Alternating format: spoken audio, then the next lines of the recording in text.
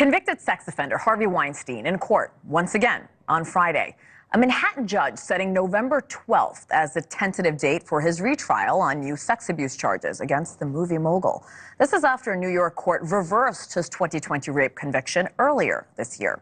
The Weinstein continues to deny all wrongdoing. Here with us now is legal analyst and trial attorney Misty Marris. Misty, good morning. Thank you for joining us again.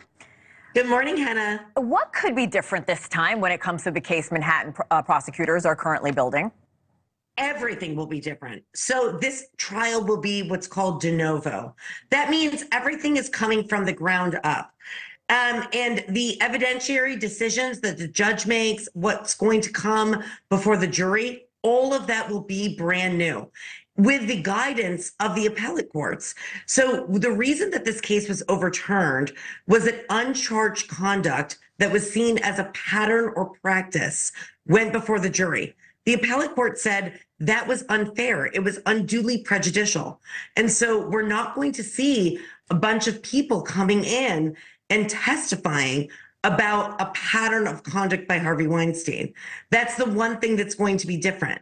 But everything else, it's going to be coming brand new. It's going to be a whole new trial. Prosecutors haven't publicly identified the new accusers. They're trying to keep certain evidence out of the public eye.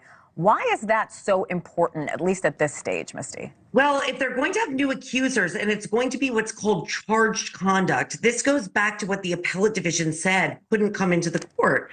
So, charged conduct means conduct that actually falls within the statute of limitations, conduct that's going to be a part of the trial. And prosecutors are keeping that out of the public sphere in order to preserve the trial moving forward.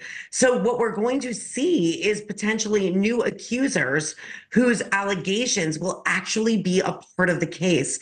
Remember that when Harvey Weinstein was tried the first time, much of the evidence related to conduct that was not a part of the actual underlying allegations against him. So this is going to be a very different trial from what we saw the first time around. We've all seen the video, the pictures of Weinstein. His lawyers say he's not doing well in Rikers Island, that he's facing a whole host of medical problems. How is that argument going to play out in court and, of course, to an expected jury? Arthur Aidala, great friend of mine, great attorney, but What's not going to come before the jury will be his medical health condition. They will, of course, be able to observe Harvey Weinstein at the defense table. And so the, the jury might observe him and see that he is actually suffering from a health perspective.